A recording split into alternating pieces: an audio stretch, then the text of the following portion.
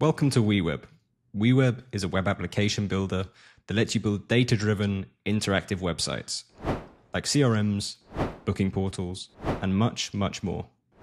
So, WeWeb AI is now generating the page based on your prompt, and once generated, it's easy to edit the generations. To do so, you can simply prompt the AI exactly what it is you want to change, and if there's a particular element you want the AI to focus on, then you can click on the element to pass it in as context. Then simply submit your prompt and the AI will make the changes.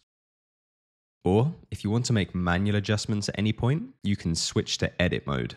Here, you have access to the properties of any element on your page, and you can change whatever styling you like. So you could do things like changing the color of icons, changing the content of text, or reordering elements in the layout tree.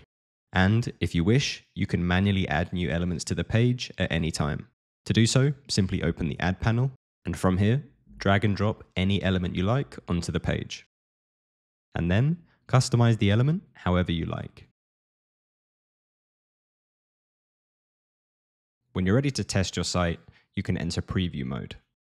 Here, you'll see a live preview of your app, where you can test your app as if you were a real user.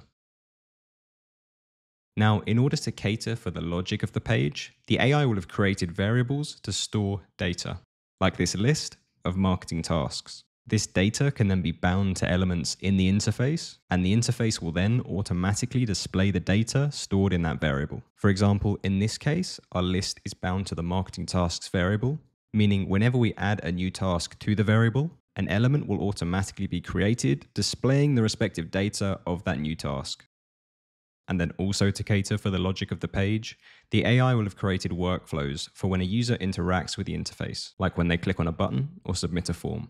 Here, the AI has created a workflow on the Add Task button, so that when the user clicks the button, the pop-up to add a new task will first appear, and then when a new task has been created, we add it to our marketing tasks variable, so it's displayed in our interface. And we can test all of this in preview mode to make sure it works as expected. So when I click the new task button, I'm presented with the task creation pop-up. And so when I now create a new task, it gets added to our marketing tasks variable and is thus displayed in the interface. Now, to turn your project into a production ready full stack application, you need a backend. So far, the AI will have used variables to store information, like in this example, the marketing tasks and events. But there's a limitation. These variables only exist while the app is running, and they're usually tied to a single user's session or device. Meaning if we refresh the page, we'll lose any changes made to the data in our variables. A backend is different. It allows you to securely store information permanently on a server. This means the data stays safe even if the user closes their browser, refreshes the page, or accesses your app from a different device. To help with this, we offer a range of backend service integrations, all available in the plugins menu.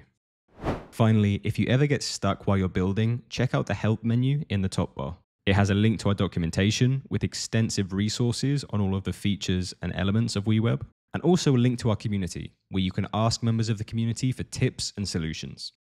If you're looking for some more guided learning, I highly recommend checking out the WeWeb 101 section of our documentation. There you'll find a walkthrough of all of the key features of WeWeb. And with that said, welcome to WeWeb. We can't wait to see what you build.